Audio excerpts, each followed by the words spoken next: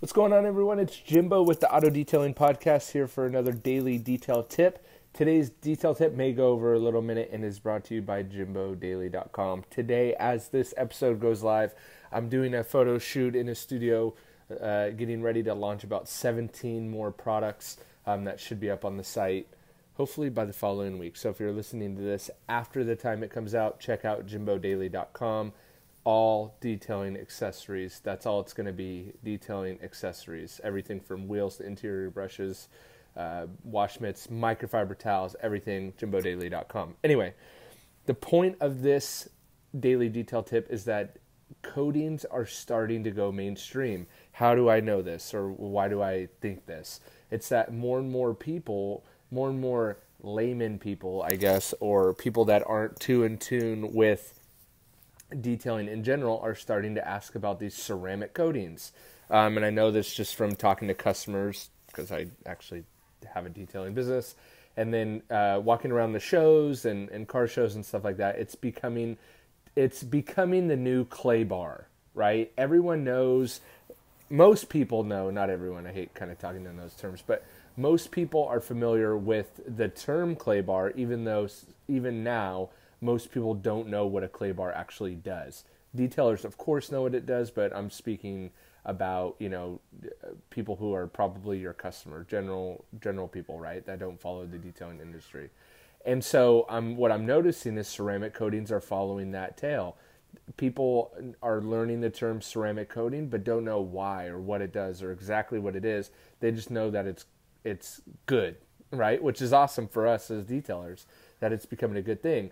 Um, and so, what I'm even getting family members that are getting new cars um, asking about it because they're talking about it at the dealership and the in the finance office. They're seeing it sometimes at car washes. Yes, I tell my family to go to car washes um, and stuff like that. So I thought, you know what, coatings are really starting to go mainstream. How can you tap into that market if you still haven't tapped into it yet?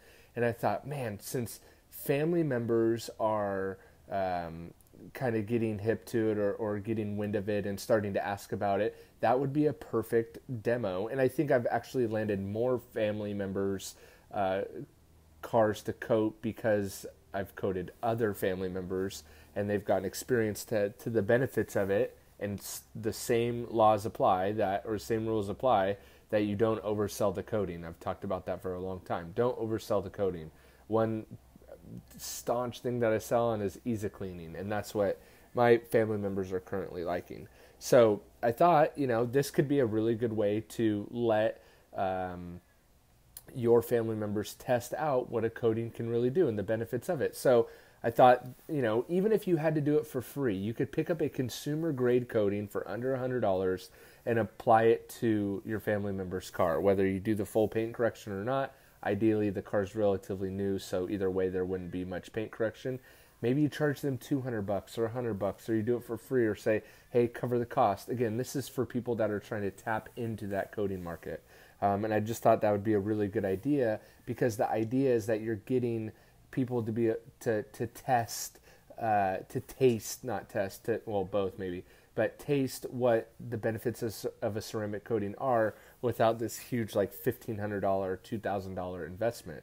So as you kind of let them taste um, they start talking about it. Maybe they're talking to their friends or other family members or whatever and then you could step up the ladder of price point. So once you get outside of your family members you know maybe your first coating job again maybe start with the consumer grade coating is $500 um, and really, in that five to eight hundred dollars is where I think all coatings are going to start to to level out. Um, starting to even see the beginnings of a sag in the market for how much people can charge because the competition is getting stiffer and, and more. Right, supply and demand is, is starting to take hold.